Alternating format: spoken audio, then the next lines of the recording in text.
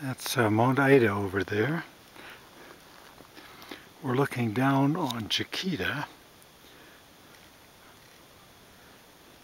And we're pretty much looking straight across at Long's Peak.